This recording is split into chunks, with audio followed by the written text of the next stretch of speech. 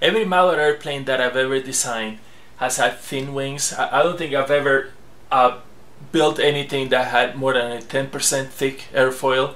And on, on a full-size airplane, you know, general aviation, 13% thick, that, that's pretty normal. And that's okay, you know, they, they're much bigger, the air, it's easier to get the air to flow around the wing. But for a model, I will say you, you want to try and, and be 10% or less thick.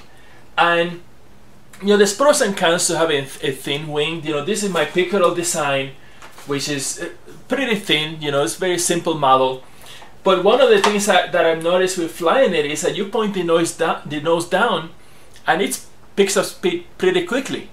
And so you, you have to be you have to be careful with it. You know, don't don't let the speed get too high, and you know, and you mostly see that when you're turning.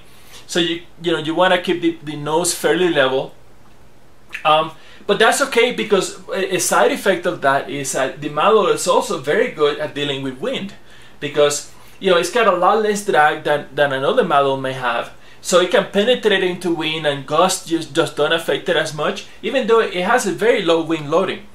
Uh, and the reason why it's got the, the low wing loading is because of another side effect of a thin wing, which is a thin wing has trouble maintaining lift when the nose comes up. So bottom line is that it stalls earlier than a thicker airfoil. And, and that means it has a limited ability to slow down.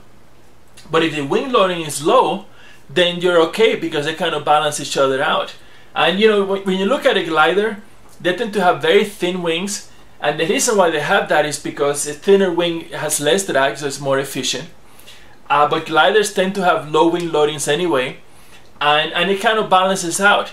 You know, you, you don't you, you want you need to be careful if you have a, a model with a very thin wing and a high wing loading, because that's what leads to very sharp and dangerous stalls. So you need to stay away from that.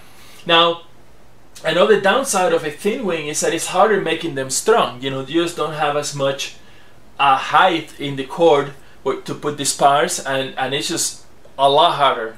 So I had to get very creative with Picorel here. You know, a lot of this strength is being carried by uh, the leading edge and this, these main spars that go across. So, so it definitely is a little bit harder.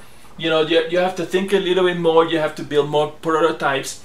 But in the end, I, I ended up with a very light model that, that uh, on the one hand is a floater. It can slow down very nicely uh, and of course the you know the step vortex airfoil that I have on it helps with that too. But it has really good penetration. It can speed up when I want it to without too much trouble, and it's just it's just a lot of fun to fly.